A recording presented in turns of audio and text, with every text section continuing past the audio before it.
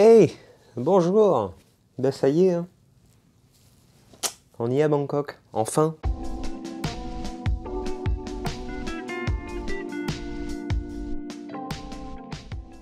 Avant toute chose, j'aimerais vous dire que je suis désolé pour cette vilaine tête, mais je suis vraiment fatigué. J'ai attendu très longtemps à l'aéroport et je suis HS. À la base, j'avais prévu de faire cette vidéo avant de partir.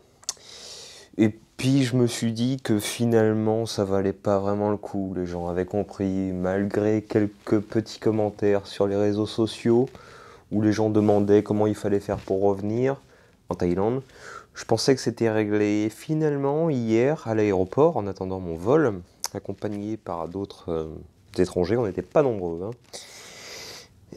Eh bien, beaucoup de Français qui raccompagnaient leurs copines thaïlandaises sont venus nous voir pour nous demander comment il fallait faire pour aller en Thaïlande.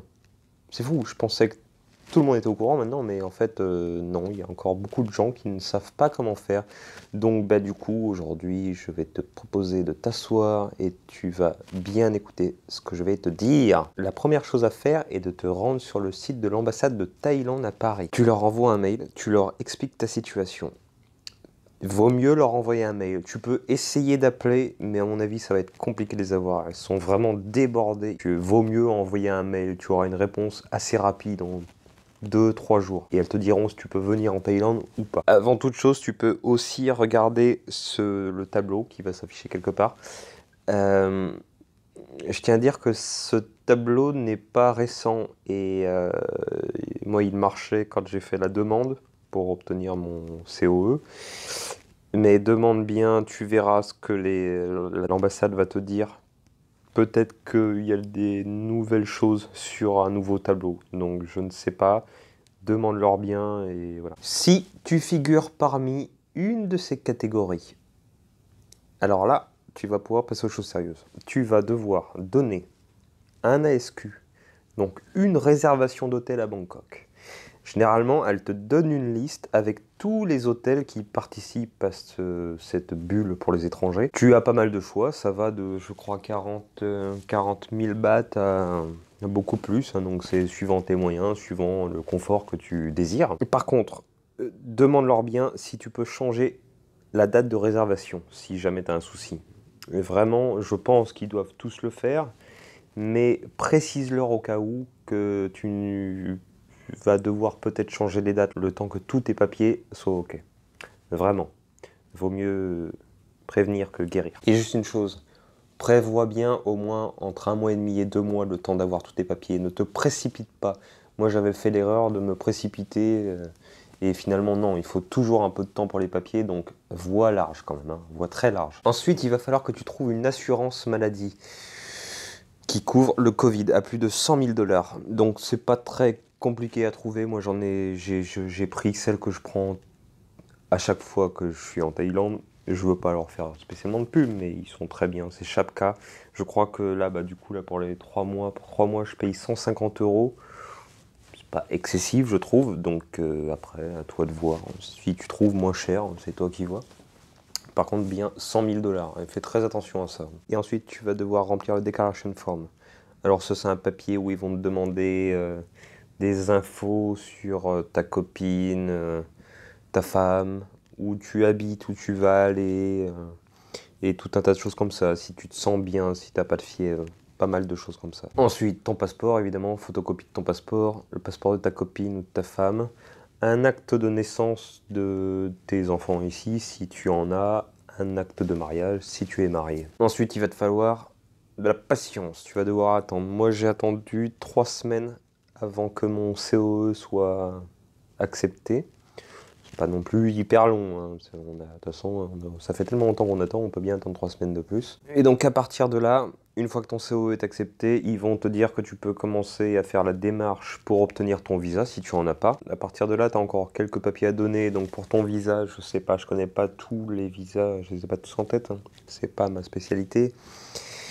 Mais en général, il faut que tu aies un montant minimum sur ton compte en banque, copie de passeport, une photo d'identité et surtout un billet d'avion. L'ambassade de Thaïlande va te donner une liste de compagnies aériennes sur lesquelles tu vas pouvoir réserver ton vol. Donc il y a la Thai Airways, Qatar Airways, je crois bien qu'à Air France aussi maintenant. Enfin, il y en a vraiment pas mal, Etihad, ainsi de suite. Et donc, du coup, pour les dates, fais bien attention aussi. Euh, ne prends pas un vol euh, deux jours après ta demande de visa, sinon t'es cuit. Il faut, c'est quatre jours minimum pour ta demande euh, de visa avant de l'obtenir. Donc, le temps d'y retourner. voilà, prévois quand même un petit peu. Et puis, de toute façon, tu as encore des choses à faire à ce moment-là. Une fois que tu as ton visa, c'est pas fini. Tu auras d'autres choses avant de partir très importante. L'ambassade te donne l'ordre des documents à fournir, ils insistent, ils insistent pas mal et ils ont bien raison, il n'y a pas d'erreur. Donc en numéro 1, c'est ton COE, Certificate of Entry. En 2, ton test Covid négatif. Et là, attention. Là, fais très attention, il faut bien que les résultats de ton test Covid soient datés de moins de 72 heures avant ton voyage. Fais très attention à ça. Moi, ce que j'ai fait, c'est que j'ai téléphoné à pas mal de cabinets médicaux ou autres qui faisaient les dépistages Covid. On m'a indiqué un hôpital qui donnait les résultats très rapidement. Donc je leur ai expliqué ma situation. Je leur ai dit que je partais à l'étranger, qu'il me fallait mes résultats 72 heures avant le vol. Je prenais mon vol jeudi, j'y suis allé mardi matin. Et mardi soir, j'avais mes résultats. Vraiment, il faut vraiment leur expliquer que tu es dans l'urgence et de toute façon, pour les gens qui prennent l'avion, tu passes en priorité, on m'a dit. Donc, euh, mais vraiment, explique ta situation. Ensuite, il te faudra un certificat médical. Donc, moi, été voir mon médecin qui me l'a fait. Sur le certificat médical, il faut qu'il soit en anglais.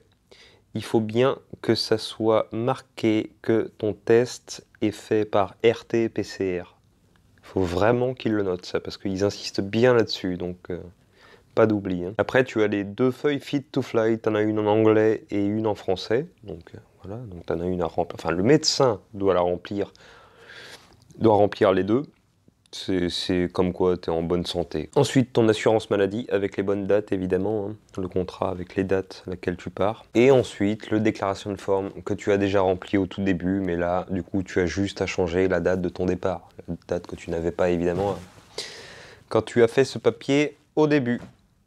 Donc voilà. Et donc du coup après tu seras en Thaïlande et ça fait vraiment vraiment vraiment plaisir de revenir ici. Ça commençait vraiment à manquer même si c'est la pluie. Du coup je découvre à peine la quarantaine. C'est plutôt strict mais je pense qu'ils font les bons choix. C'est une bonne chose. Au moins il n'y a pas de problème. Voilà sur ce j'espère que je t'aurai un petit peu aidé dans cette vidéo. Je sais que ça peut être compliqué pour certains. Euh, donc... Euh, J'espère t'avoir aidé. J'espère que tu as aimé cette vidéo. Et si tu as aimé, je t'invite à mettre un petit pouce bleu, un petit like. C'est pareil. Je suis fatigué. T'abonner à la chaîne et ou mettre un petit commentaire. Voilà, c'est pas grand chose. C'est un détail pour vous, mais pour moi, ça veut dire beaucoup. Et voilà, et je te dis Chokdi si tu es dans tes documents à fournir. Et ciao, à bientôt.